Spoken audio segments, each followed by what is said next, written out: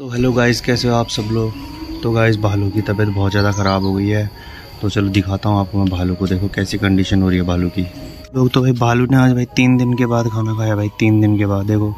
और भालू की कंडीशन बहुत ज़्यादा ख़राब हो रही है, क्योंकि दो महीने हो गए, दो महीने से कुछ भी, एक परसेंट भी ढंग का रिज़ल्ट नहीं मिला इसकी हेल्थ में मतलब। हल्की सी भी इसकी मतलब हेल्थ ठीक नहीं, ऊपर से पूरी स्किन निकल गई, देखो। पहले दानों ने परेशान किया था, अब देखो कितनी गंदी तरीके से स्किन निकल रही है। इतने गंदे तरीके से स्किन निकल रही है भाई अब। और आज तीन दिन बाद खाना खाया इसने भाई। पैरों में इसके सूजन हो रखी है, दोनों आगे के पैर पूरे सूज रखे हैं।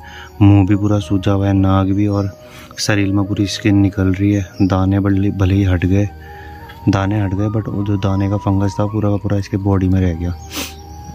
तीन दिन बाद आज ये खाना खा रहे हैं भाई। यार भालू के लिए प्रेयर करो, आप लोग कि जल्द, भालू जल्दी से जल्दी ठीक हो जाए। प्रेयर कर दो आप यार। सब लोग मिलके प्रेयर करोगे ना तो भालू जल्दी से जल्दी ठीक हो जाएगा। तो भाई जैसे कि हम बता रहा था ना कि तीन दिन के बाद खाना खा रहे हैं।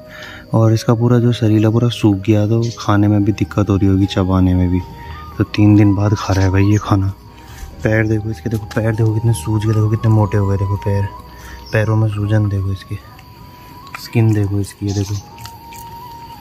बहुत बेकार हाल हो रखे हैं भाई, बहुत ही बेकार। आप लोग प्रेयर करो कि भालू ठीक हो जाए बस।